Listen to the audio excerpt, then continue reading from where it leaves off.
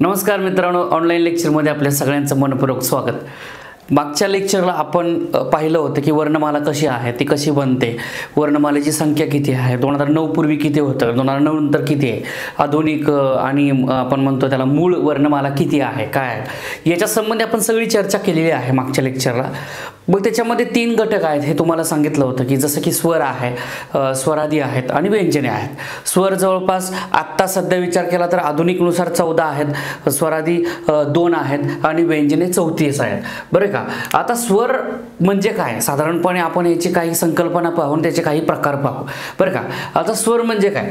खरं तर स्वर असं आपण बघितल्यानंतर स्वर किती आहेत आपल्याला? आता सध्या चौदा आहेत. ते पूर्वी किती होते? पूर्वी बारा होते. मग आता स्वर जर चौदा झालेले आहेत, मग स्वर म्हणजे काय? स्वर म्हणजे लक्षात घ्या स्वर म्हणजे काय आहे? स्वर म्हणजे सूर आहेत जसं की संगीत म्युझिकमधले सूर असतात. बरं का? तसेच याच्या याच्या पद्धतीनं स्वर आहेत. जो आता बघा अ म्हणल्यानंतर आ म्हणल्यानंतर किंवा ई असं म्हणल्यानंतर मुखातील कोणत्याही अवयवाचा एकमेकाशी स्पर्श होत नाही मित्रांनो हे लक्षात घ्या. म्हणजे जसं की बघा आता इथं व्यंजन म्हणलं क व्यंजन म्हटलं ट म्हणलं च म्हणलं. तर आपण लक्षात घ्या आता हा ट म्हणल्यानंतर जीभ वर जाते आणि त्या मुर्देला जाऊन चिकटते. वरच्या बाजूला जाऊन चिकटते. च म्हणल्यानंतर वर दाताच्या अगोदर जीभ जाऊन चिकटते. तसंच बघा आता अम अम म्हणल्यानंतर बघा किंवा आहा म्हणल्यानंतर बघा. जसं विचार केला आपण तर अम म्हणल्यानंतर काय की आपल्याला सगळ्या मुखातील अवयवांचा एकमेकाशी स्पर्श झालेला दिसून येईल. परंतु हे जर का स्वर काही अपवाद वगळता बरं का? हे जे स्वर आहेत हे स्वरांचा उच्चार करताना मुखातील कोणत्याही अवयवांचा काय होत नाही? अडथळा येत नाही लक्षात घ्या. अवयवांचा काय येत नाही? अडथळा येत नाही. आणि त्याच्यामुळं काय होतं? हे स्वर जे आहेत ना उच्चारले जातात हे लक्षात घ्या. मुखातील कोणत्याही अवयवांचा अडथळा येत नाही. त्याला काय म्हणतात? स्वर असे म्हणतात. स्वर म्हणजे काय? सूर आहेत हे लक्षात घ्या. आता बघा मुखातील अवयवांचा अडथळा येत नाही म्हणजे स्वर हे कसे आहेत? आता बघा एखाद्या पाण्याला अडथळा आला तर तो प्रवाही नसतो. पाण्याला अडथळा आला तर.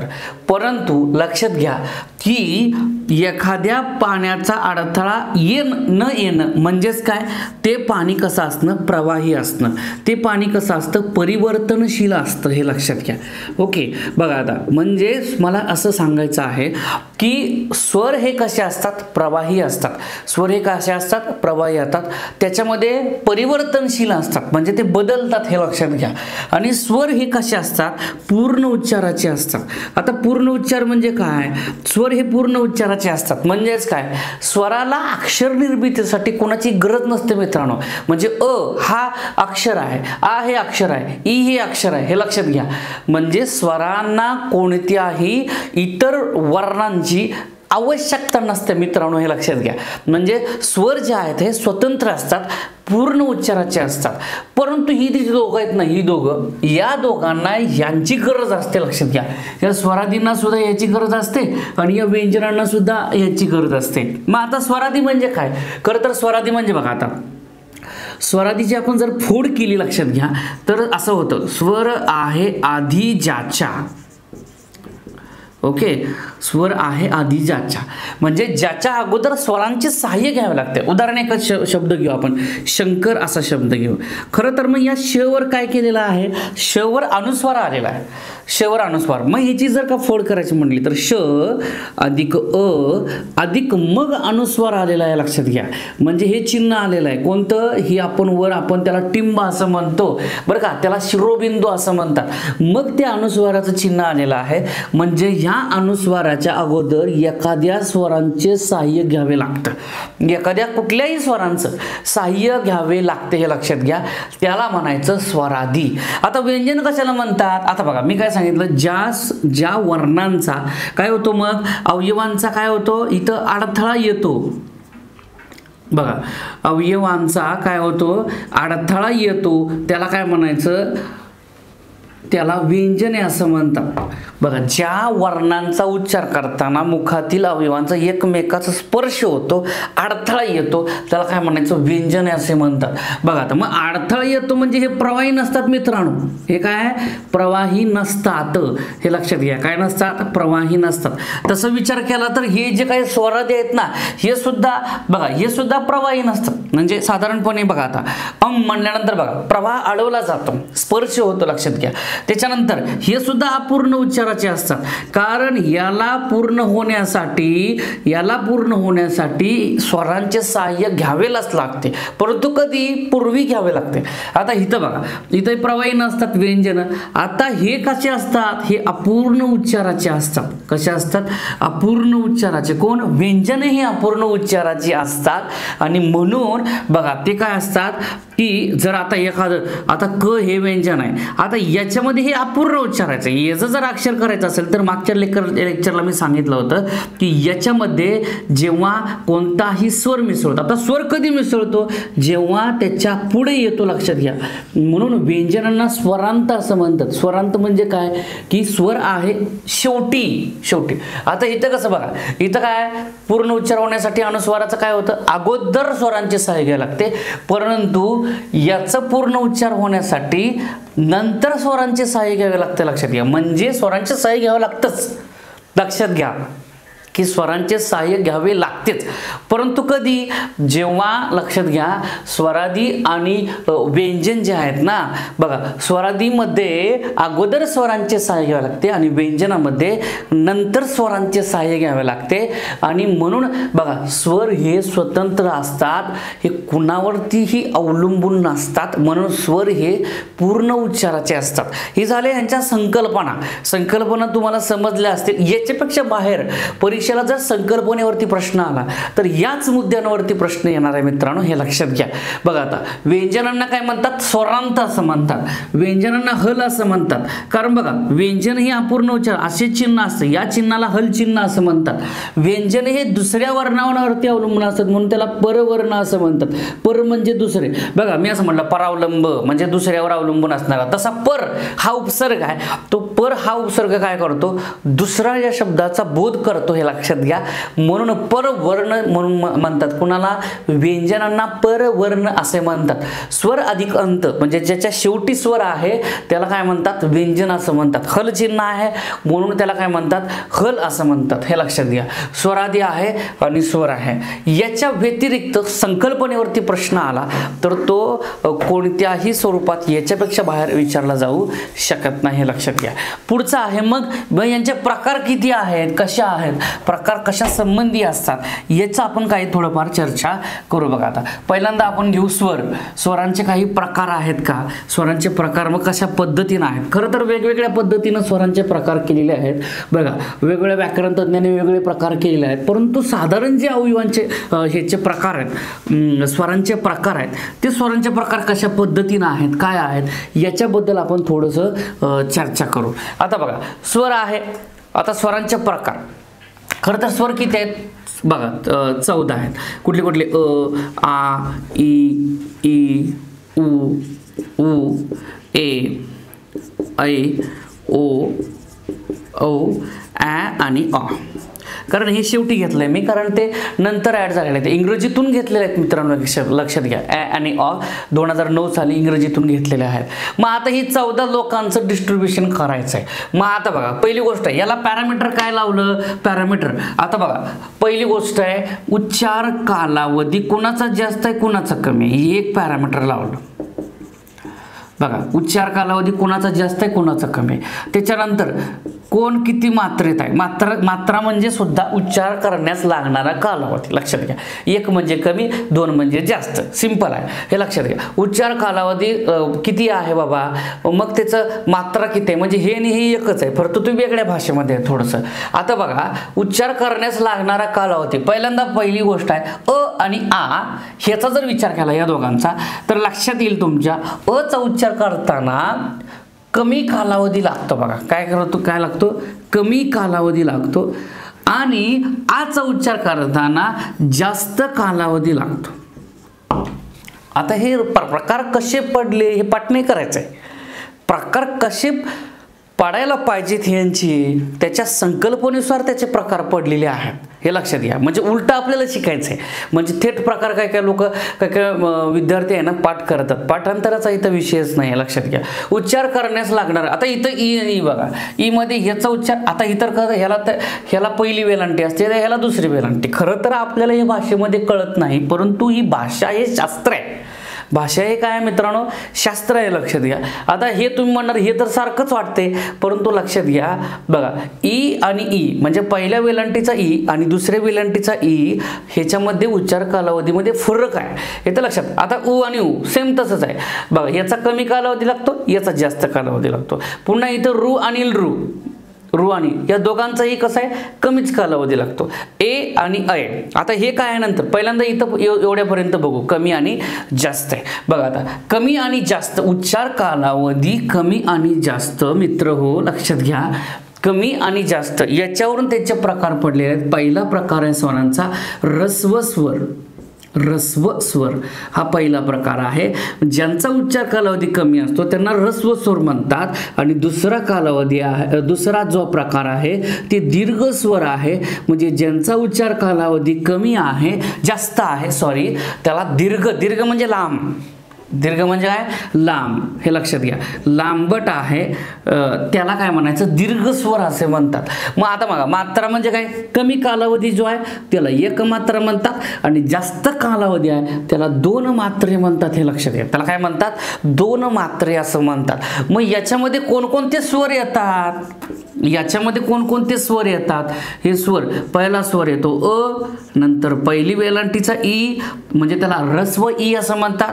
त्याच्यानंतर पहिला उकार जो आहे ना त्याला रस्व उकार असं म्हणतात रु आणि रु. म्हणजे याच्यामध्ये चौदापैकी पाच स्वर येतात लक्षात घ्या पाच स्वर येतात.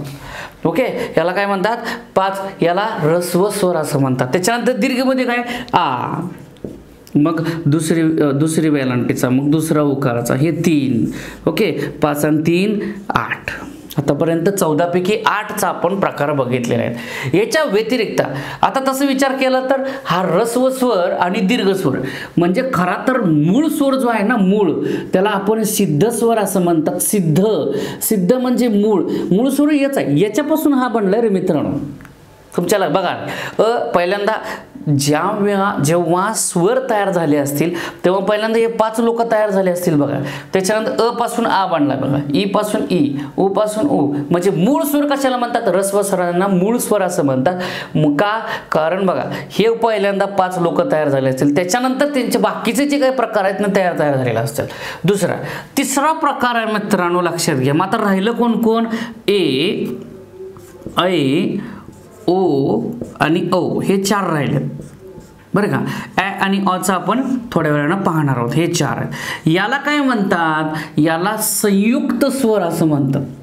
आता संयुक्त या शब्दाचा अर्थ काय मित्रांनो? तर संयुक्त या शब्दाचा अर्थ असा होतो की जेव्हा दोन किंवा दोनपेक्षा अधिक घटक एकत्र येतात तेव्हा त्याला संयुक्त असं म्हणतात.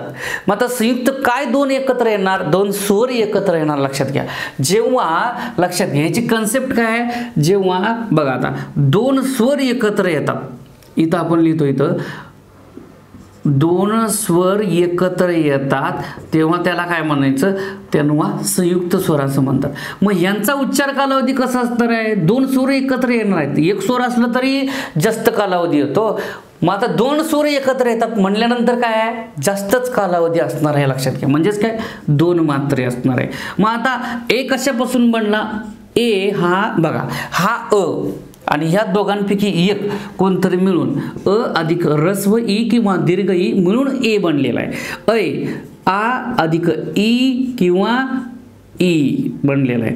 ओ अ अधिक ई किंवा ई असं बनलेलं आहे. आणि मग आ अधिक उ किंवा उ. म्हणजे संयुक्त स्वर जे बनलेलं आहेत ना ते या दोघांपासून बनलेले आहेत मित्रांनो. लक्षात घ्या. बघा अ आणि ई. बघा त्याच्यानंतर आ आणि ई.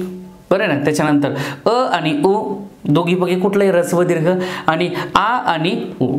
एकत्र केले की संयुक्त स्वर. म्हणून त्याला संयुक्त स्वर असं म्हणतात. हे लक्षात म्हणजे विचार करा म्हणून ह्या दोघांना लक्षात घ्या याच्यापासून बनलेला आहे म्हणून साधित स्वर असं म्हणतात. साधित लक्षात घ्या. साधित म्हणजे कशापासून तरी बनलेला की जे मूळ नाही. काय नाही म्हणते मी जे मूळ नाही त्याला साधित स्वर असे म्हणतात. हे लक्षात घ्या. साधित स्वर हे जे आहेत ते रस्व स्वरांपासून बनलेले असतात. म्हणून रस्व स्वरांना मूळ किंवा सिद्ध स्वर असं म्हणतात. हे लक्षात घ्या. पुढचं आहे बघा आता राहिलं काय? म्हणजे रस्व दीर्घ संयुक्त हे झाले. पाच आणि तीन आठ आणि चार बारा. आता राहिला मुद्दा काय बाबा? राहिला कुठला आहे? तर तो ॲ आणि ऑचा राहिलेला आहे. इथं लिहितोय मी. ॲ आणि ऑ आता ॲ आणि अ हे काय आहे? खरं तर हे पहिली गोष्ट आहे. इंग्रजीतून मराठीत आपण घेतलेलं आहे. तुम्हाला सांगितलेलं आहे इंग्रजीतील काही शब्दांना आपल्याला मूलध्वनीच नव्हते. लक्षात घ्या. बरं का? इंग्रजीतून घेतले आहे आणि यांचा उच्चार कालावधी जास्तच असतो म्हणजेच दोन मात्रे एवढा असतो. लक्षात घ्या. म्हणून याला आपण आता एक लक्षात घ्या. एखाद्याकडून आपण एखादी गोष्ट म्हणजे जसं की एखादा मुलगा जर आपण दत्तक घेतला तर तशा पद्धतीनंच हे आपण दत्तक घेतलेलं आहे. ॲ आणि ऑ म्हणून त्याला आदत्त स्वर असं म्हणतात. आदत्त स्वर असं म्हणतात हे लक्षात. आदत्त स्वर. बरं का? आता काही व्याकरणतज्ञ असं म्हणतात की आदत्त स्वर हे वेगळं नाही परंतु काय? ॲ आणि ऑ हा दीर्घ स्वरामध्येच आहे. दीर्घ स्वरांमध्येच आहे. परंतु आपण ते जास्त कालावधी आहे म्हणून आपण आदत्त स्वर हे दीर्घ स्वर असे मानू परंतु त्याला वेगळी कॅटेगरी आहे. ती इंग्रजीतून मराठीत घेतलेली आहे. एक लक्षात घ्या आपली जी वर्णमाला आहे ना वर्णमाला किती वर्णांची आहे? पन्नास वर्णांची वर्णमाला आहे. त्याच्यातले सत्तेचाळीसच्या सत्तेचाळीस वर्ण हे आपण संस्कृत आणि प्राकृतमधून घेतलेले आहेत. त्या लक्षात घ्या. बरं का? संस्कृतमधून आपण त्याचा काय आहे? त्याचा प्रवाहाचा स्रोत आलेला आहे. परंतु परंतु तीनच असे वर्ण आहेत. काय म्हणतोय? लक्ष द्या. बरं का? तीनच असे वर्ण आहेत. कोणकोणते? पहिलं ॲ आणि अ हे दोन स्वर ही आपण इंग्रजीतून घेतलेले आहेत. आणि ळ असा आहे जो ळ शेवटचा सगळ्यात शेवटचा व्यंजन जे आहे ना ते आपण ळ तमिळ भाषेतून घेतलेलं आहे. म्हणजे आपली वर्णमाला ही स्वतःची आहे परंतु तीन वर्ण आपण दुसऱ्यांकडून घेतलेले आहेत. कुठले कुठले? ॲ अ आणि ळ येते लक्षात. त्याच्यामध्ये आता बघा म्हणजे आता पाच आणि तीन आठ आणि चार बारा आणि दोन चौदा. हे त्याचे काय पडलेले आहेत? प्रकार पडलेले आहे. काय पडलेले आहेत? प्रकार. आता याच्या व्यतिरिक्त याच्या व्यतिरिक्त आपण जर विचार केला तर ह्यांचा उच्चार कालावधी होतोच. काय अडचणच नाही. मी इथंच समजावून सांगतो सगळं. बरं का? आता याचा उच्चार खाली हो कालावधी होतोच. काय अडचणच नाही. परंतु एक जर विचार केला आपण एक जर विचार केला तर काय काय लोक याच्यामध्ये एका समान उच्चारस्थानातून झालेले दिसतील? समान उच्चारस्थान म्हणजे काय? हे बघा याच्या व्यतिरिक्त अ आ एकाच उच्चारस्थानातून येतो बघा. कंठ म्हणतो त्याला आपण. एकाच उच्चारस्थानातून समान उच्चारस्थानातून यांचा उच्चार. म्हणजे अ आ ही भाऊ भाऊ वाटतात सख्खे त्याच्यानंतर ई ई एकाच उच्चारस्थान वेगळं असं होत नाही. आता बघा अ आणि उ हे म्हटल्यानंतर बघा वेगळं उच्चारस्थान होतं. अचं वेगळं उच्चारस्थान उचं वेगळं उच्चारस्थान. परंतु या ती दोघांचं तसं नाही. अ आ समान उच्चारस्थान होतं. बघा हे समान आहेत. बघा ई ई समान आहेत. उ उ समान आहेत. तीन आहेत. ओके? त्याच्यानंतर बघा त्याच्यानंतर ए ऐ समान वाटत आहेत ओके? आणि ओ औ काय वाटत आहेत समान. ओके? म्हणजे याच्यातल्या चौदापैकी आता तुम्ही काय म्हणणार? ॲ आणि ऑ हे समान वाटतात. हे समान नाहीत हे असमान आहेत. ते आपण उच्चार स्थानामध्ये पाहू. बघा आता अ आ ई ई उ उ. हे काय वाटतायत? समान. ए ऐ आणि ओ औ. हे काय वाटतायत? समान वाटत आहेत म्हणजे या चौदापैकी समान वाटणारे आता समान म्हणजे काय? समान म्हणजे ज्या ज्या वर्णांचा ज्या स्वरांचा उच्चार एकाच उच्चारस्थानातून होतो समान उच्चारस्थानातून होतो त्याच काय म्हणतात? सजातीय वर्ण सजातीय स्वर असे म्हणतात. काय म्हणतात त्याला? सजातीय स्वर असं म्हणतात. म्हणजे सजातीय जोड्या ज्या आहेत इथं मी लिहितोय. बघा आता सजातीय जोड्या ज्या आहेत ना त्या किती आहेत? बघा पाचच जोड्या सजातीय सजातीय म्हणजे काय मी तुम्हाला सांगितलेलं आहे. सजातीय म्हणजे समान किंवा एकाच उच्चारस्थानातून निघणाऱ्या स्वरांना काय म्हणतात? सजातीय स्वर असं म्हणतात. स जात स म्हणजे समान. जाती जाती म्हणजे वर्ग. एकाच प्रकार. बरं का? सजातीय किंवा त्याला सवर्ण वर्ण म्हणजे रंग स सवर्ण स्वर बघा. काय म्हणतात? ह्याला काय काय म्हणतात? सजातीय म्हणजे काय? सवर्ण. समान उच्चार स्थानातून. किती जोड्या आहेत? पाच. अ आ इ ई उ उ. आणि बघा ए ऐ आणि ओ औ. हे काय आहेत? समान. पाच जोड आहेत. समान वाटत आहेत मग समान. आता इकडं ह्याच्या वि उलट त्याला विजातीय असं म्हणतात. विजातीय किंवा असवर्ण स्वर असं म्हणतात. ते कोणकोणत्या आहेत? असवर्ण स्वर. एक पहिली गोष्ट आहे बघा कोणाचीही कोणाबरोबर जोडी लावली तरी सुद्धा ते विजाती वि म्हणजे भिन्न. भिन्न किंवा असमान. ज्यांचे असमान उच्चारस्थाने आहेत. बघा अचं उच्चारस्थान वेगळं आणि ईचं उच्चारस्थान वेगळं. अ ई आ उ. येतं लक्षात. ए ओ कोणताही म्हणजे कितीही जोड्या याच्या पडू शकतात? ॲ आणि अ हे सुद्धा मित्रांनो लक्षात घ्या विजातीयमध्येच येणार आहे. हे मी तुम्हाला विशेषतः सांगण्यासारखी गोष्ट अशी आहे. ॲ आणि अ हे विजातीय आहे. म्हणजे असे सुद्धा प्रकार त्याचे अजून केलेले आहेत. रस्व दीर्घ संयुक्त हे तर प्रकार आहेतच. सिद्ध आणि साधित हे तर प्रकार आहेतच. परंतु काय? सजातीय आणि विजातीय हे सुद्धा प्रकार आहेत. हे लक्षात घ्या. म्हणजे आपण स्वर स्वरादी व्यंजन आणि स्वरांचे प्रकार बघितलेले आहेत. ते प्रकार चौदा जे काय स्वर आहेत त्या चौदा स्वरांची विभागणी आपण पहिल्यांदा रस व दीर्घ आणि संयुक्त याच्यामध्ये केलेली आहे. त्याच्यानंतर सजातीय आणि विजातीय याच्यामध्ये केलेली आहे. आणि त्याच्यानंतर सिद्ध आणि साधित स्वर कोणकोणत्या आहेत ह्याच्याबद्दल सुद्धा आपण काही प्रमाणात चर्चा केलेली आहे. आपण पुढच्या भागामध्ये आता लगेचच पाहणार आहोत. स्वरादी म्हणजे काय आणि स्वरादींचे काही प्रकार आहेत. त्याच्यानंतर व्यंजन म्हणजे काय आणि व्यंजनांचे काही प्रकार पाहणार आहोत. जेव्हा आपण स्वर बघितले आता स्वरानंतर आपण दुसरा जो भाग आहे तो आहे स्वरादी. आता स्वरादी म्हणजे काय हे थोडक्यात तुम्हाला मी मागं सांगितलेलंच आहे. स्वरादी म्हणजे स्वर आहे आधी ज्याच्या. तसं उच्चार करताना सुद्धा बघा की अ आणि मग म असं होतं अम असं होतं. आणि मग उच्चार करताना सुद्धा बघा अ अधिक हा असं होते अहा असं होते. म्हणजे अ किंवा कोणताही स्वर अगोदर उच्चार करावा लागतो. आता मूलध्वनी काढताना सुद्धा बघा अगोदर स्वरांचे सहाय्य घ्यावे लागते. त्याला काय म्हणायचं? स्वरादी असे म्हण मराठीमध्ये दोन स्वरादी आहेत. एक आहे अम आणि दुसरा आहे आहा. हे तर लक्षात. मग आता अम त्याला काय म्हणायचं? त्याला अनुस्वार असं म्हणतात. बरं का? अनु म्हणजे ध्वनी. बघा अणु म्हणजे काय? ध्वनी. आता ध्वनी आणि स्वार म्हणजे काय? घोडेस्वार तसं काय? घोड्यावर बसलेला. म्हणजे काय? स्वार म्हणजे बसलेला च्यावर बसलेला. कशावर तरी तो बसलेला आहे. कोण? ध्वनी. ध्वनी त्या अक्षरांवर बसलेला असतो. म्हणजे हे जर अक्षर असेल ना अ तर ह्याच्यावरती तो ध्वनी बसलेला असतो. आता ध्वनी म्हणजे कोण? हा शिरोबिंदू आपण म्हणतात. शिर म्हणजे डोके. बरं का? त्याला बिंदू असतो. ओके बघा शिरोबिंदू त्या अक्षरांच्या डोक्यावरती तो स्वार झालेला असतो बसलेला असतो. म्हणून त्याला काय म्हणायचं? अनुस्वार असं म्हणतात. परंतु एक मित्रांनो लक्षात घ्या. जसं की आता उदाहरण घंटा असा शब्द आहे. आता या अनुस्वार कशावर बसला आहे त्या घ वर बसलेला आहे. परंतु आघात मात्र दुसऱ्या वर्णनावर करत आहे घंटा. इथं लक्षात घ्या. म्हणजे टावर आघात करतो ह्याच्यावरती आघात करतो. लक्षात घ्या तो ज्याच्यावर स्वार झालेला आहे जसं की घवर स्वार झालेला आहे येतं लक्षात. बघा आता त्याच्यावरती तो कधी आघात करत नाही. तो आघात कशावर करतोय? टावर आघात करतोय. म्हणजे दुसऱ्या वर्णांवर जो त्याच्यासमोर येणारा जो कोण वर्ण आहे ना ओके तर त्याच्यावरती आघात करतोय लक्षात. म्हणून त्याला अनुस्वार. म्हणजे अनुस्वार म्हणजे काय? की उच्चारावर होणारा उच्चार हे लक्षात घ्या.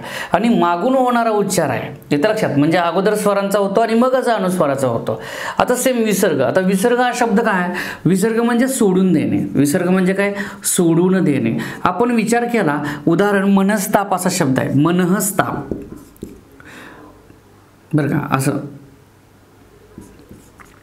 असं आपण म्हणलो. ओके. तर मनहस्ताप म्हणल्यानंतर बघा इथं काय येणार? न अधिक अ. आणि मग विसर्ग येणार आहे. असं. म्हणजे याच्यापूर्वी अ येतच बघा. याच्या अच असं नाही कोणतंही. आता दुःख असं म्हणलं. असं म्हणलं. ओके. द अधिक उ अधिक मग विसर्ग येतो. तर म्हणजे ह्याच्या पूर्वी काय येतं? कुठलाही स्वर येतोच लक्षात घ्या कोणताही स्वर येतो. म्हणजे सोडून देणे म्हणजे आता विसर्ग. बघा आता उदाहरण बघा.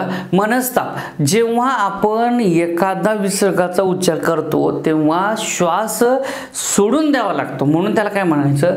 विसर्ग असे म्हणतात. मग आता स्वरादी किती आहेत? दोन आहेत. कुठले कुठले? अम आणि आहा. अनुस्वार आणि विसर्ग अनुक्रमे त्याला असं म्हणतात. ओके? अनुस्वार म्हणजे काय? की ध्वनी त्याच्यावर कशावर तर बसलेला आहे आणि तो शिरोबिंदू आहे. त्याला काय म्हणायचं? अनुस्वार असे म्हणतात. हे लक्षात घ्या. अनुस्वाराचा उच्चार जो आहे ना तो उच्चार स्पष्ट आणि खणखणीत होतो बघा. कसा होतो? स्पष्ट आणि खणखणीत होतो बघा लक्षात घ्या. ओके? बघा शंकर असं म्हटलं. स्पष्ट आणि खणखणीत आहे. ह्याच्यावरती आघात होतो. क वर. ओके? घंटा. टावर आधार होतो. स्पष्ट आणि खणखणीत आहे लक्षात. ओझरता नाही. अस्पष्ट नाही.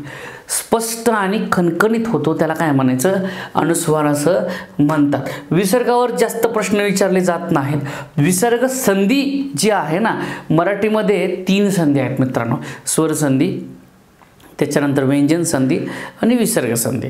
स्वर व्यंजन स्वरादी संधी नाही स्वरादीमधला तो विसर्ग घेतलेला आहे लक्षात विसर्ग संधीवरती जास्त प्रश्न विचारतात परंतु विसर्गावरती जास्त प्रश्न विचारत नाहीत हे लक्षात घ्या. हे झालं स्वरादींच्या बाबतीत. आता श आता पुढचा आहे तिसरा विभाग तो आहे व्यंजन. तो काय आहे? व्यंजन. मग आता व्यंजन काय आहे? व्यंजन कशाला म्हणतात? ह्याच्या संबंधी आपण संकल्पना बघितलेल्या आहेत. की ज्या वर्णांचा बघा उच्चार करताना मुखातील अवयवांचा काही येत नाही अडथळा येत नाही त्याला काय म्हणतात? अडथळा येतो सॉरी अडथळा येतो त्याला काय म्हणतात? व्यंजन असे म्हणतात. हे आपण बघितलेलं आहे. बरं आहे ना? मग आता बघा व्यंजनांचे प्रकार बाकी आपण आता पाहणार आहोत. आता प्रकार कोणकोणते आहेत? खरं तर आता व्यंजने कोणकोणते आहेत? बघा क च ट त प. कचट्यात प. ओके क चा वर्ग. असे बघा इथं ग ओके त्याच्यानंतर काय आहे बघा? ग आहे नि आहे न आहे न आणि म असे आहेत. हे बघा हा एक गट झाला. त्याच्यानंतर य र ल व. हा एक गट झाला. त्याच्यानंतर बघा श श स. हा एक गट झाला आणि त्याच्यानंतर ह आणि ळ असे बघा चौतीस व्यंजन आहे. अशी काय आहेत? चौतीस व्यंजन आहेत. हा पहिला गट आहे हा दुसरा गट आहे हा तिसरा गट आहे आणि हा चौथा आणि हा शेवटचा पाचवा गट आहे. खरं तर मग हे पाच गट व्यंजनांचे पडलेले आहेत. तुम्ही मूळ वर्णमाले जरी बघितलं तर वर्णमाला मी पहिल्या लेक्चरला ब- ब- सांगितलं होतं की वर्णमाला कशी बनलेली आहे की बाबा ते व्यंजने कसे कसे आहेत? पहिला पाचचा गट आहे आडवे पाच आहेत उभे पाच आहेत. हे तुम्हाला सांगितलेलं आहे. बरं ना? म्हणजे ते पाच पंचवीस लोकांचा एक गट आहे. त्याच्यानंतर बघा त्याच्यानंतर यर लव हे चार लोक लोकांचा एक गट आहे. पंचवीस आणि चार एकोणतीस. त्याच्यानंतर श श स हा तीन लोकांचा गट आहे. किती झाले? एकोणतीस आणि तीन बत्तीस. आणि हा एक तेहतीस. आणि हा एक किती झाले? चौतीस. म्हणून व्यंजनांचे पाच प्रकार पडलेले आहेत. किती? व्यंजनांचे किती प्रकार पडत आहेत व्यंजनं ही पाच प्रकार पडतात. हे लक्षात घ्या. काय? किती प्रकार? पाच प्रकार पडलेले आहेत. त्याच्यातला पहिला जो आहे ना पहिला हा पंचवीस वर्णांचा त्याला स्पर्शीय व्यंजने असं म्हणतात. त्याला काय म्हणायचं? स्पर्श व्यंजन असं म्हणतात. त्यालाच वर्गीय व्यंजन असं म्हणतात हे लक्षात घ्या. आणि त्यालाच स्फोटक व्यंजन असं म्हणतात. आता हे का म्हणतात? काय नाही? कशाबद्दल आहे? आता स्पर्श व्यंजन म्हणजे काय आहे तुम्हाला सांगतो पहिली गोष्ट आहे. बघा आता आपल्या मुखामध्ये जे आपण आता मी बोलतोय ना बोलतोय ते आपल्या मुखातील माझ्या पाच अवयवांचा वापर करतो करतोय मी. पहिली गोष्ट आहे हे असं आपलं चेहरा आहे बघा. असा चेहरा आहे. ओके? ओके. आपलं मुख आहे ना? बघा आता. बघा आपल्या मुखाच्या पाच अवयव आहे. पहिली गोष्ट आहे इथं कंठे आहे. त्याला आपण के म्हणतो. कंठ त्याच्यानंतर इथं एक आहे तालू आहे त्याला टी म्हणतो तालू. त्याच्यानंतर त्याच्यामागे एक असा भाग आहे त्याला मुर्धा असं म्हणतो. ओठांचा वापर करतो ओष्ठ्य आणि दातांचा वापर करतो डी. येतं लक्षात? पाच अवयव आहेत आता लक्षात काय काय कुठली कुठली? कंठ. दोन तालू. तीन मुर्धा. चार दंत्य. आणि पाच ओष्ठ्य ओके एक कशी लक्षात ठेवायची तुम्हाला सांगितलेलं आहे की आपल्याला गाडीचं नाव माहीत पाहिजे. K T M K T M गाडीचं नाव आहे. आणि डिओ हे वर्जन आहे त्याचं. तुम्हालाही माहीत आहे के टी एम डिओ हे पाच अवयव आहेत. ओके? के टी एम डिओ हे पाच अवयव आहे. आता पाच अवयवांचा वापर करून आपण ह्या पंचवीस व्यंजनांचा उच्चार करतो पहिली गोष्ट आहे. या पाच अवयवांचा स्पर्श होतो एकमेकास. लक्षात घ्या. काय होतो? स्पर्श. म्हणून ह्याला काय म्हणतात? स्पर्श व्यंजन आहे असे म्हणतात. अवयवांचा काय होतो? अवयवांचा पाच अवयवांचा बरं का? काय होतो? एकमेकास काय होतो? स्पर्श होतो. म्हणून त्याला स्पर्श व्यंजने म्हणतात. पाच वर्ग आहेत त्याचे. किती वर्ग आहेत? पाच वर्ग आहेत. कुठले कुठले? सांगितलेलं आहे. क च ट त प. बघा पाच वर्ग आहेत. क चा वर्ग प चा वर्ग च चा वर्ग अशा टाईपचे काय आहेत त्याचे वर्ग आहे म्हणून त्याला वर्गीय व्यंजन म्हणतात. आणि बघा स्फोटक का म्हणतात. क प फ असं म्हटल्यानंतर काय? हवा अडवली जाते आणि स्फोट झाल्यासारखं होतं. म्हणून त्याला स्फोटक व्यंजन म्हणतात. त्याचे तीन प्रकार आहेत. त्याचे तीन प्रकार आहेत. उपप्रकार आहेत. बघा किती वर्ग आहेत? पाच वर्ग आहेत. पाच वर्ग आणि काय आहेत? तीन प्रकार आहेत. बघा कुठले कुठले? पहिली गोष्ट आहे. आता तसं पाच वर्ग कोणाकोणाचे आहेत? क च ट त प. कचाट्यात प हे पाच वर्ग आहेत. हो ना? बघा आता. मग आता क चा वर्ग आहे. पहिल्या प्रकाराला काय म्हणतात? कठोर. बरं का?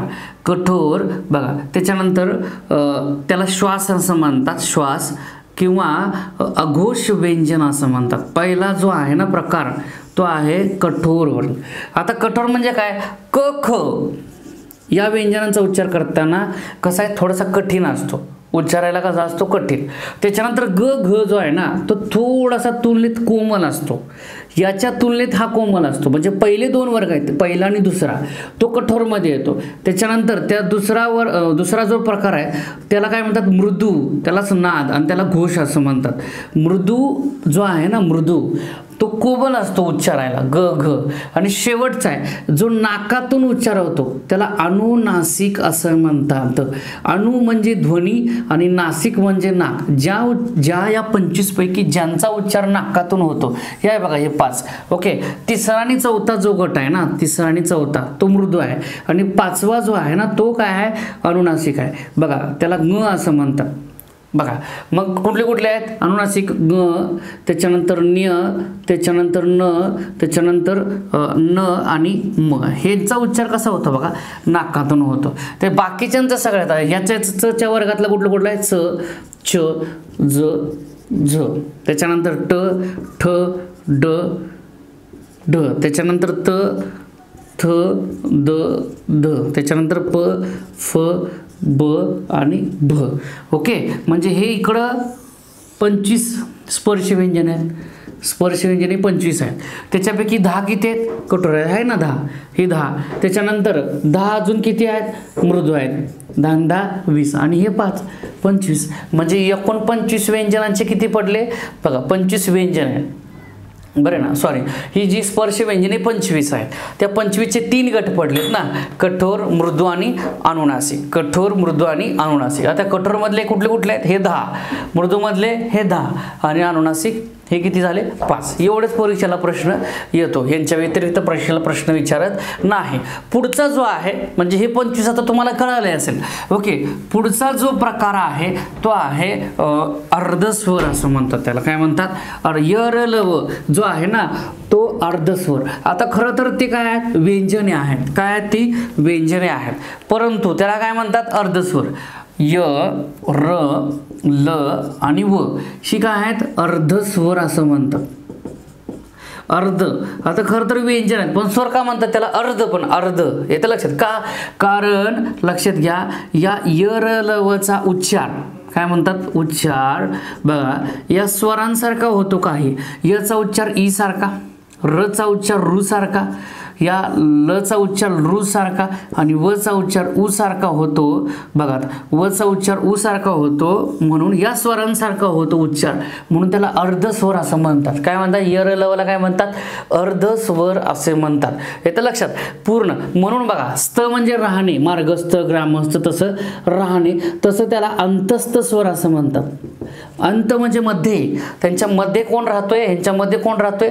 स्वर राहतो. म्हणून त्याला अंतस्थ स्वर असं असेही म्हणतात. पुढचं आहे श श स. श श आणि स. पुढचं आहे. हे तीन आहेत. याला उष्मी असं म्हणतात. उष्मी म्हणजे काय? बघा. उष्मे. श श श म्हणजे काय होतं बघा जिभेच्या पृष्ठावरून हवा बाहेर फेकली जाते आणि उष्णता तयार होते. म्हणून त्याला उष्मे असं म्हणतात. त्याला घर्षक असंही म्हणतात. कारण ते घर्षण करतात. हवेचं काय करतायत? जिभेच्या पृष्ठावर घर्षण करतात. म्हणून उष्मेंना काय म्हणतात? घर्षक असे म्हणतात. श श स यांना घर्षक म्हणतात. त्याच्यानंतर कोण आहे? त्याच्यानंतर बघा. त्याच्यानंतर ह. ह हा काय आहे? ह हा महाप्राण आहे. काय? महाप्राण वर्ण आहे. ओके बघा पहिलं काय सांगितलं? स्पर्श दुसरं काय? अर्धस्वर. तिसरं काय? उष्मे. चौथं काय? महाप्राण. बघा चौथा प्रकार आहे हा महाप्राण. महा म्हणजे मोठा आणि प्राण म्हणजे श्वास. या चौतीस व्यंजनांपैकी सगळ्यात ज्वास जास्त श्वास कोणाचा घ्यावा लागतो? वर्णाचा उच्चार करताना. ह. ह म्हणताना बघा फुफ्फुसातील सगळी हवा बाहेर फेकली जाते. सिंपल त्याला म्हणून काय म्हणतात? महाप्राण असे म्हणतात. आणि पाचवा जो आहे ना पाचवा. तुम्हाला सांगितलं होतं हा? ल जो आहे ना तो तमिळ भाषेतून घेतलेला आहे. कुठल्या? तमिळ भाषेतून घेतलेला आहे. द्रविडियन भाषा कोलातील द्रविडी भाषा नाही तमिळ भाषेतून ते घेतलेलं आहे. मग त्याच्यामुळं आता हा स्वतंत्र घेतलेला ना. बघा म्हणून त्याला स्वतंत्र वर्ण असं म्हणतात. काय म्हणतात? पाचवा प्रकार आहे. स्वतंत्र वर्ण कशाला म्हणतात? ळला स्वतंत्र. कारण स्वतंत्र भाषेतून तरी घेतलेला आहे लक्षात घ्या. मराठीमध्ये या ळचे शब्द होते परंतु त्याचा वर्ण नव्हता हे लक्षात घ्या. मग म्हणून तो तमिळमधून घेतलेला आहे. आणि संस्कृतमधल्या ल ऐवजी घेतलेला आहे तो. ल. ल ऐवजी घेतलेला आहे. म्हणून त्याला काय म्हणतात? स्वतंत्र वर्ण असं म्हणतात. बघा व्यंजनांचे पाच प्रकार पडतात. पहिला प्रकार आहे स्पर्श व्यंजन दुसरा प्रकार आहे अर्धस्वर तिसरा प्रकार आहे तिसरा प्रकार आहे उष्मे चौथा महाप्राण आणि पाचवा आहे स्वतंत्र वर्ण. हा पाच व्यंजनांचे प्रकार पडतायत हे लक्षात घ्या. बघा आता स्वर स्वरादी व्यंजन त्यांच्या संकल्पना आपण बघितलेल्या आहेत आणि त्यांच्या काही प्रकार बघितलेले आहेत. आणि हे प्रकार परीक्षेला आपल्याला ह्याच्यापेक्षा बाहेर परीक्षेला प्रश्न विचारत जा विचारला जात नाही. याच्या व्यतिरिक्त बघा आता. आता मी इथं तुम्हाला सांगतो की हे चौतीस व्यंजने आहेत बाबा. बरं का? ही चौतीस व्यंजने आहेत. मग आता चौतीस व्यंजनामध्ये बघा काही व्यंजनात त्याच्यातल्या काही व्यंजनात बघा जर आपण विचार केला क ख ग आणि घ च छ ज आणि झ ओके ट ठ ड आणि ढ त थ द ध आणि प फ ब आणि भ. हे बघा हे चौतीस व्यंजन मी इथं काढलेले आहेत बरं का? याच्यातल्या काही जे व्यंजन आहेत ना ते व्यंजनांचा उच्चार करताना लक्षात घ्या या हचा उच्चार केला जातो. हचा आता इथं बघा क पण क मध्ये जेव्हा ह मिसळेल तेव्हा ख होतं. बघा त्याच्यानंतर ग.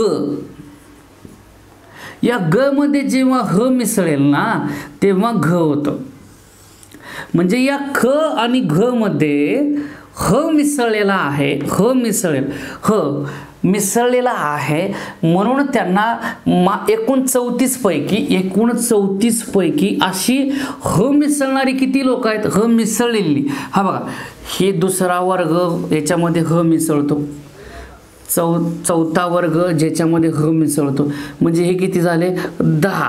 हे झाले दहा. त्याच्यानंतर यरलमध्ये ह मिसळत नाही. श श स शंभर टक्के ह मिसळतो. म्हणजे हे झाले तीन तेरा. आणि हा ह एकमेव आहे चौदा. म्हणजे एकूण चौतीसपैकी चौतीसपैकी ज्यांच्यामध्ये ह मिसळतो असे महाप्राण व्यंजने किती आहेत? महाप्राण व्यंजने आहेत एकूण चौतीसपैकी चौदा की ज्यांच्यामध्ये ह मिसळतो. काय? ह मिसळतो. आणि बाकी ज्यांच्यात ह मिसळत नाही त्याला काय म्हणायचं? त्याला अल्प कमी प्रमाण म्हणजे अल्प प्राण व्यंजने असे म्हणतात. अल्पप्राण व्यंजने किती मग? वीस. अल्प म्हणजे कमी की ज्याच्यामध्ये कमी श्वास घ्यावा लागतो. बरं का? महाप्राण म्हणजे ज्याच्यामध्ये जास्त श्वास घ्यावा लागतो. महाप्राण व्यंजने कशाला म्हणतात? जास्त श्वास घ्यावा लागतो. महाप्राण व्यंजने एकूण किती? चौदा. आणि अल्पप्राण व्यंजने एकूण किती? वीस आहे. याच्या व्यतिरिक्त आपल्याला परीक्षेमध्ये या जो काही वर्णमाला आणि त्यांचे प्रकार आहेत हे जे आपण आत्ता घटक शिकलेलो आहे याच्या व्यतिरिक्त परीक्षेला कोणताही प्रश्न आपल्याला विचारला जाऊ शकत नाही. ओके? हे तुम्हाला समजलं असेल आणि अशी मी आशा करतोय व्यक्त करतोय. ओके? चला पुढच्या जो लेक्चरला आपण पाहणार आहोत ते आहे त्याची उच्चारस्थानं नेमकी कशी आहेत? किती आहेत आणि ते कशा पद्धतीने आहेत. ओके चला थँक मित्रांनो एक लक्षात घ्या की वर्ण विचार ह्या टॉपिकमध्ये आपण तीन घटक सांगितले होते. पहिली गोष्ट आहे की वर्णमाला. ओके पहिला आपण बघितलेला आहे. वर्णांचे उच्च जे काय प्रकार आहेत ते बघितलेले आहे. म्हणजे स्वर त्याची संकल्पना त्याचे प्रकार. स्वरादी व्यंजन त्यांची संकल्पना त्यांचे प्रकार. आत्ताच्या भागामध्ये आपण पाहणार आहोत की वर्णांची नेमकी उच्चारस्थाने काय असतात. वर्णांची नेमकी कशी उच्चारस्थाने काय असतात? तुम्हाला माहिती आहे की वर्ण किती आहेत मराठीत? एकूण पन्नास आहेत. किती आहेत? पन्नास आहेत. आत्ताच्या ह्याच्यानुसार हिशोबानुसार पन्नास व्यंजने आहेत. बरे का? पन्नास वर्ण आहेत सॉरी आता या पन्नास वर्णामध्ये लक्षात घ्या पन्नास वर्णाचे उच्चार कसे करायचे? आता हे खरं तर उच्चार का आले? कारण प्रत्येकजण आपापल्या पद्धतीने उच्चार केला तरी भाषा वेगवेगळी होऊन जाईल. आतासुद्धा आपण बोली भाषा जे म्हणतो ना काही बोली भाषा हे पूर्णपणे मराठीपेक्षा वेगळ्या झालेल्या आहेत. हे प्रमाण भाषेमधले जे काय उच्चारस्थाने आहेत आणि याच्यावरती परीक्षेला प्रश्न विचारलेले आहेत. परीक्षेला प्रश्न या चार्टच्या बाहेर विचारले जात नाहीत. ते कसे काय याची आपण विभागणी याच्यामध्ये करणार आहोत. स्वरामध्ये स्वराधीमध्ये आणि व्यंजनामध्ये म्हणजे काही व्यंजने काही सुवर्ण जे असतील ना ते कंठामधूनच उच्चारले जातात. बरं का? जसं की अ आ हा स्वर आहे. बघा अ आ हा स्वर आहे की जो कंठामधूनच उच्चारला झाला पाहिजे. बरं का? आणि त्याचं उच्चारस्थान कुठलं आहे? कंठ्य आणि तुम्हाला सांगितलं ही पाच वर्ण पाच उच्चारस्थानं लक्षात कशी ठेवायची? K T M D O लक्षात ठेवायचं. Okay? K T M D O आपल्या मुखामध्ये पाच अवयव आहेत. पहिला आहे कंठ तालव्य मूर्धन्य दंत्य आणि ओष्ठ हे सांगितलं होतं. हे पाच अवयव आहेत. आता याची विभागणी हे पन्नास लोकांमध्ये करायचे खरं तर एकोणपन्नास लोकांमध्येच करायचे आहे पण ते का कशा पद्धतीने होतं हे सांगतो. अ आ हा स्वर आहे ना तर त्याला कंठे वर्ण असं म्हणतात. कंठे स्वर असं म्हणतात. कारण त्यांचा उच्चार कंठाचा वापर. आता हे उच्चारस्थाने म्हणजे काय? तसं उच्चार केला तर आपण बऱ्याच वर्ण आहेत की ज्यांचा उच्चारस्थान दोनमध्ये पण होतं. बरं का? दोन अवयवांचा उच्चार करताना होतो. बरं का? परंतु ज्या अवयवांचा जास्तीत जास्त वापर होतो जास्तीत जास्त वापर होतो त्या अवयवाचं ना त्या अवयवाचं नाव त्या वर्णाला दिलेलं असतं हे मित्रांनो लक्षात घ्या. तुम्हाला समजून घ्या. मग आता म्हणून अ आ यांचा उच्चार करताना फक्त कंठाची हालचाल होते बघा. म्हणून त्याला काय म्हणायचं? कंठेवर्ण असं म्हणतात. आता मग स्वरादी कोण आहे? स्वरादी स्वरादी विसर्ग जो आहे ना विसर्ग त्यांचा उच्चार आहा हा कंठेवर्ण आहे लक्षात घ्या. लक्षात घ्या स्वराधी किती आहेत स्वरादी दोन आहेत स्वराधी किती? दोन आहेत स्वराधी दोन. कोणकोणते आहेत? पहिली गोष्ट आहे अम आणि दुसरी गोष्ट आहा. असा एकमेव स्वरादी आहे अम की ज्यांचे उच्चारस्थानच देता येत नाही. कारण सांगता येत नाही. कारण त्याचं अमचा उच्चार करताना कंठाची हालचाल होते जिबीची हालचाल होते नाका नाकातून त्यांचा उच्चार होतो ध्वनी बाहेर पडतो. म्हणून अमचं उच्चारस्थान म्हणून पन्नासपैकी फक्त एकोणपन्नास वर्णांचं उच्चारस्थान देता येतं. उच्चारस्थान देता येते लक्षात घ्या. बाकी एकचं उच्चारस्थान देता येत नाही. जसं की अ आ आ हा आपण कसं दिलं कंटे तसं अमचं उच्चारस्थान देता येत नाही. बाकी सगळ्यांचं देता येतं. कंटेमध्ये अ आ आहे आ आहे. त्याच्यानंतर बघा तुम्हाला सांगितलं कंटेमध्ये कच क च बघा हे क चा वर्ग सगळा. म्हणजे क ख ग ग आणि ग याच्या व्यतिरिक्त बघा. आणि मग तालवेमध्ये तालवेमध्ये क मूर्धन्यमध्ये ट चा वर्ग त्याच्यानंतर दत्तेमध्ये दंतेमध्ये त चा वर्ग आणि ओ ओष्टेमध्ये त्याच्यानंतर बघा प चा वर्ग सगळा. कचाट्यात प के टी एम ढेव हे असं जोडून घ्यायचं. पंचवीस वर्णांचं तर लक्षात राहते काय अडचण नाही. मग हे च च ज झ न्य हे सगळं बरं ह्याच्यामध्ये येतं सगळं. बघा च छ ज झ न्य ट ठ ड ढ न त थ द ध न आणि प फ ब भ आणि म ओके याच्या व्यतिरिक्त कंटेमध्ये हे तर आहेत म्हणजे हे दोन हे तीन आणि हे पाच आठ ह्याच्या व्यतिरिक्त काय होतं तर महाप्राण व्यंजन जे आहे ना ह त्यांचा वापर तिथं होतो म्हणजे कंटेवरनं एकूण किती झाले कंटेवरनं किती झाले? पाच आणि तीन आठ आणि एक नऊ. नऊ म्हणजे पन्नास पैकी नऊ जे आहेत ना ते कंटेवरनं आहे त्याच्यानंतर तालव्य. आता तालव्य कुठं असतो? तालूचा भाग बघा. जिबेच्या माग वरच्या भागाला. मागं असं नाही दाताच्या माग वरच्या दाताच्या मागे वरच्या भागामध्ये जो खरबरीत भाग आहे दाताच्या मागे बरोबर तिथे जीभ जाऊन चिकटते. त्याला तालव्य असं म्हण तालू असं म्हणतात. येतं लक्षात? तालव्यामध्ये कोण कोण येतं? स्वर ई आणि ई. ओके. आता स्वरादींचा काही संबंधच नाही. दोनच होते त्यातला एक तर बघितलेला त्याच्यामुळे याचा काही संबंध नाही. ओके. चचा सगळा वर्ग. ओके. आणि काय आहे? य हा अर्धस्वर आणि श हा उष्म याच्यामध्ये येतो. मूर्धन्य म्हणजे काय? तालूच्या मागं. तालूच्या मागं. म्हणजे दाताच्या वरच्या दाताच्या मागे खरभरीत भाग आहे त्याला तालू असं म्हणतात. आणि तालूच्या मागं जो खोलगट भाग आहे तालूच्या मागं जो खोलगट भाग आहे त्याला मुर्दा असं म्हणतात. जीभ दुमडली जाते बघा. जीभ अशी दुमडली आता टचा उच्चार करा. ट ट म्हटल्यानंतर काय? जीभ दुमडली जाते आणि वरच्या भागाला जाऊन कुठल्या मुर्देच्या भागाला जाऊन चिकटते त्याला मुर्दन्य असं म्हणतात. खोलगट भाग आहे ना त्याला मुर्दन्य असं म्हणतात हे लक्षात घ्या. ओके? बघा मग याच्यामध्ये टचा सगळा वर्ग घेणार ट ठ ड ढ न. बरं का? त्याच्यानंतर मग कोण येतं? रू याच्यामध्ये येतं. रू. ऋषीतलं रू. हा स्वर येतो. रू. ओके? आणि इथं काय येतं? र श आणि ळ. आता इथं रु आलंय म्हणल्यानंतर इथं रु येणार. बघा य चा उच्चार कोणासारखा होतो? ई सारखा. म्हणजे इथं य आलं म्हणल्यानंतर इथं ई येणार. इथं र आलं म्हणल्यानंतर इथं रु येणार. आता बघा त्याच्यानंतर दंत्य द दाताला जाऊन जीभ चिकटते. बघा ते कोण कोण कोण आहे? पहिली गोष्ट आहे रु. आता इथं रु आलंय म्हणल्यानंतर इथं ल येणार ना? ल. आणि मग स येतं. बरं ना. य र ल व य र ल मधला य आलंय तिथं ई येणार र आलंय तिथं रु येणार रु बघा ल आलंय तिथं रु येणार ओके. त्याच्यानंतर व जिथं येत आहे ना व व. आता तिथं फक्त काय होतं व आणि ऊचा उच्चार वेगवेगळा येतोय लक्षात घ्या. त्याच्यामुळं त्याच्यामध्ये जुळत नाही. ओष्ट हा ऊ आणि ऊ ओष्ट ओके बघा आता. याच्यामध्ये इतर इतर काही व्यंजन याच्यामध्ये येत नाहीत. ओके लक्षात आलं? म्हणजे आत्तापर्यंत आपण बघा. आत्तापर्यंत आपण स्वर किती बघितले? जे मुख्य उच्चारस्थानामध्ये होते. बघा. दोन चार सहा आणि आठ स्वर आत्तापर्यंत बघितले की जे मूळ उच्चारस्थानामध्ये येतात. बघा. हा एकमेव आहे. आठ आणि एक नऊ. नऊ आणि हे पंचवीस. पंचवीस आणि नऊ किती झाले?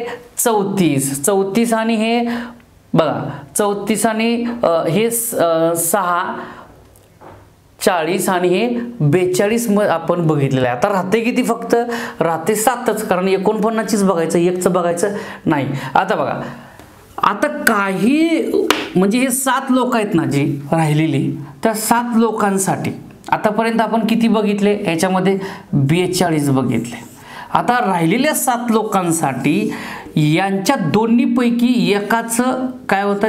बघा दोन उच्चारस्थाने एकत्र येतात आणि एकाचं काय होतं? उच्चार होतं. दोन उच्चारस्थाने एकत्र येतात.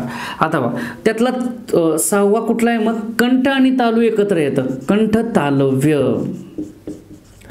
त्याला म्हणतात कंठ आणि तालू एकत्र येतात. मग याच्यामध्ये स्वर कोण आहे? बघा आता मागच्या वेळी सांगित होतं अ आणि ई एकत्र आलं काय होणार आहे? ए. आ आणि ई एकत्र आलं करणार आय. सिंपल आहे ना? बघा हे दोन एकत्र येतात. बघा हे ह्या दोघांपासून काय तयार होतं? ए आणि ऐ म्हणून इथं आलं. त्याच्यानंतर सातवं. कंठ तालव्यानंतर कंठोष्ट्य. कंठ आणि ओष्टे एकत्र येतात. कंठ आणि ओष्ठे पहिला आणि पाचवा वर्ग एकत्र येतो. एकत्र दोन एकत्र आणि बघा पहिला आणि पाचवा. अ आणि उ. काय होणार? ओ आ आणि उ. काय होणार? औ. सिंपल आहे ना? झाले चार. आता फक्त राहिले तीन. ओके. आठवा. आठवा. कुठला आहे? कंठ तालव्य कंठोष्ट दंतोष्ट म्हणजे बघा आता हे दोन एकत्र येतात. हे दोन एकत्र येतात. याच्यामध्ये दंतोष्टी कोण असणार आहे आता? दंतोष्टी एकमेव आहे एकमेव आहे व्यंजन. बघा व हे दंतोष्टी व्यंजन आहे. व व. बघा जे कालचा ओट आहे ना तो वरच्या दाताला जाऊन चिकटतो. व म्हणून त्याला काय म्हणायचं? दंतोष्ट. आणि शेवटचा आहे बरं का? शेवटचा कोण आहे? दंत. दंत आणि तालव्य एकत्र येतात. दंत तालव्य. यालाच दंतमुली असं म्हणतात. काय म्हणतात? दंतमुली असं. मी थोडासा अजून याच्यामध्ये ॲड करणार आहे काही गोष्टी म्हणून बाजूला ठेवलेल्या आहेत. पण नंतर सांगणार आहे मी कारण त्याच्याबद्दल मला वेगळं सांगायचं आहे ओके? त्यालाच वरचं असं म्हणतात. वरचं. हे तर लक्षात. दंत तालव्य. आता बघा. आता हे जर बाजूला ठेवलं आपण तर दंत तालव्य दंतमुलीय ओके? बघा. तर मराठीमध्ये प्रत्येक वर्णांचं उच्चारस्थान वेगवेगळं आहे. परंतु हे जे च छ ज झ आहे ना यांचं उच्चारस्थान दोन आहे. एक तर तालव्य आहे आणि दंत तालव्य आहे. च छ ज आणि झ यांची उच्चारस्थानं दोन आहेत. लक्षात घ्या दोन. ओके? उदाहरण बघा. आता मी असं म्हटलं जग आणि जग. याच्यामध्ये फरक. बघा हे जग खूप सुंदर आहे असं म्हणायला पाहिजे ना? आणि तुम्ही चांगले जगा असं म्हणायला पाहिजे. म्हणजे जग आणि जग दिसायला शब्द जरी सारखा असला लिहायला जरी सारखा असला तर ज आणि ज मध्ये फरक आहे. तो काय आहे? थोड्या वेळानं आपण पाहू. ओके? बघा आता. आता राहिलं कोण? राहिलं दोनच स्वर. कुठले? ॲ आणि ऑ बघा लक्ष द्या. ॲ जो आहे तो कंठ तालव्य आहे ॲ आणि अ जो आहे ना तो कंठोष्ठे सॉरी काय? कंठोष्ठे आहे. म्हणजे बघा सजातीय स्वर जे आहेत ना एका गटात आहेत बघा. सजातीय म्हणजे का एकाच उच्चारस्थानातून ए ऐ सजातीय ओ औ सजातीय ओके ई ई सजातीय आ आ स्वजातीय ओ उ स्वजातीय म्हणजे सजातीय जोड्यांच्या किती? जोड्या पाच. आहे परंतु कुठलीही लावा. अ ई विजातीय. आ ई विजातीय. अ उ उजातीय. कुठली लावा. ए ओ उजातीय विजातीय. ए अ म्हणून विजातीय लक्षात घ्या. म्हणजे तीन आणि तीन सहा आणि ए हे किती झाले? सात. बरे ना सात. परंतु हे दोन हे जे चार वर्ण आहेत ते दोन ठिकाणी येतात. चार वर्ण च च ज ज हे काय आहेत? तालव्य आणि दंत तालव्य हे लक्षात घ्या. मग आता ही आपल्याला एकोणपन्नास वर्णांचं आपण काय बघितलेलं आहे? हे विभागणी बघितलेली आहे. बेचाळीस लोकांचं हे पाचमध्ये डिस्ट्रीब्युशन होतं आणि सात जे काय वर्ण आहेत त्यांचं हे चारमध्ये विभागणी झालेले आपल्याला दिसून येईल. येतं लक्षात. मग आता तालव्य आणि दंत तालव्यमध्ये काय फरक आहे? बघा आता. हे तुम्ही लक्षात घ्या. तालव्य आणि दंत तालव्यमध्ये काय फरक आहे नेमका? ओके? तालव्य जो आहे ना तालव्य तालव्य आणि दंत तालव्य याच्यामधली साम्यता काय आहे? साम्यता काय आहे बाबा? दोन्हीकडे पण काय येतं? च छ ज आणि झ हे दोन्हीकडेही येतं. ही तिची साम्यता आहे. पण याच्यामध्ये फरक असा आहे की या च छ ज झ मध्ये यांचा उच्चार य ने युक्त होतो आणि यांचा उच्चार य ने युक्त होत नाही. ओके? म्हणजे तालव्य वर्ण जे आहेत ना ते च छ छ म्हणजे छला य त्याच्यानंतर ज ज आणि त्यांच्या त्यांच्यानंतर झ असं होतं. पण हे तसं नाही फक्त च छ ज झ असं होतं. च च ज आणि झ एवढाच होतो लक्षात घ्या. ओके? बघा म्हणजे हा जो जग आहे ना पण हे जग फरक आहे. हे जे जग आहे ना हे त्याचा अर्थ होतो पृथ्वी पण उच्च उच्चार त्याचा कसा होतो बघा? उच्चार कसा होतो? उच्चार त्याचा जग असा होतो. परंतु हे जे जग आहे ना हेच हे कसं आहे? जगणे असा त्याचा अर्थ आहे. पण उच्चार कसा होतो? जग सिंपल जग असं होतं. बघा छत्री इकडे येणार. छत्री छ. त्याच्यानंतर बघा चंद्र इकडे येणार परंतु चांदोबा इकडे येणार. सोपं आहे. चंद्र चांदोबा. चाकर इकडे येणार. झाड इकडे येणार. दंत तालव्य झाड. Okay simple. म्हणजे य ने युक्त होत नाही. य हे जोडाक्षर त्याच्यामध्ये येतं. जोडाक्षर म्हणण्यापेक्षा उच्चारात य येत नाही. त्याला दंत तालव्य आणि उच्चारात य येतो. त्याला तालव्य वर्ण असं म्हणतात. ओके लक्षात आलं. जनाबाई कशात येणार? जनाबाई इकडे येणार. चाणक्य कशात येणार? इकडे येणार. चा असं म्हणतो ना चाणक्य असं नाही म्हणत चाणक्य असं म्हणतो. येतं लक्षात? त्याच्यामुळं तालव्य आणि दंत तालव्यामध्ये फरक अशा टाईपचा आहे. की जे आता कुठल्याही भाषेमध्ये लक्षात घ्या कोणत्याही भाषेमध्ये काय स्वतंत्र वर्णाला स्वतंत्र उच्चारस्थान आहे. हिंदीमध्ये लक्षात घ्या फक्त तालव्य वर्ण आहे. म्हणून बघा तुम्ही चांगले जगा असं म्हणतो आपण. चांगले मारवाडी माणू माणूस जो आहे ना त्याला हिंदी येत फक्त येते मराठी येत नाही. चांगले असं म्हणतो. जगा असं म्हणतो. पण ते चांगले जग जगा असं नाही तर चांगलीच जागा आहे. हे फरक आहे लक्षात घ्या. त्याच्यामुळं तालव्य आणि दंत तालव्यामध्ये काय आहे अशा टाईपचा फरक आपल्याला दिसून येतो. आता हे पाच लोकांचं बेचाळीस लोकांचं हे लक्षात कसं ठेवायचं आहे तुम्हाला थोडक्यात ट्रिक सांगतो आणि आपण या टॉपिकला आपण समाप्त करूया. बघा कंठ्य. कंठ आहे बघा लक्षात ठेवायचं. पहिली ट्रिप ट्रिक्स असे. कंठात अक्का. ओके म्हणजे अ आ आणि क चा वर्ग सगळा. कंठात अक्का पुढं बघा त्याच्यानंतर ताईचे यश. हे लक्षात ठेवायचं ओके? ता ई चे यश. त्याच्यानंतर तुम्हाला सगळ्यांचा आवडता काय होणार? मट बघा मटणाचा रस्सा. असं होतं होते ना? म ओके? ट न आणि रसळ रस्सा. त्याच्यानंतर दातात लस. ओके. दंत्य दातात ओके लस. ओके. आणि ओठात उपमा. बघा ओठात काय? इथं मी इथं पुसलेलं आहे. उ प मा हे तर लक्षात. अशा टाईपचं हे लक्षात ठेवायचं. पाच तुम्हाला सांगितलं होतं पाच वर्ण कशा लक्षात ठेवायचं? कंट K T M D O कंटे तालवे मूर्धन्य दंत्य ओष्ठ आणि हे कचा वर्ग कचा टॅप प हे पंचवीस लोक झाली. ते पण कसे सगळे बेचाळीसच्या बेचाळीस लक्षात ठेवायचं हे सांगितलेलं आहे. हे कंठ तालवे कंठोष्टे म्हणजे हे सोपं आहे. अ ई एकत्र ए ऐ ॲ कंठोष्टे ओ औ ऑ अशा टाईपचं आहे. म्हणजे हे एकोणपन्नास लोकांचं आपण एकोणपन्नास वर्णांचं उच्चारस्थान आपण आता पाहिलेलं आहे. नक्कीच तुम्हाला आवडलं असेल. Thank you thank you very much bye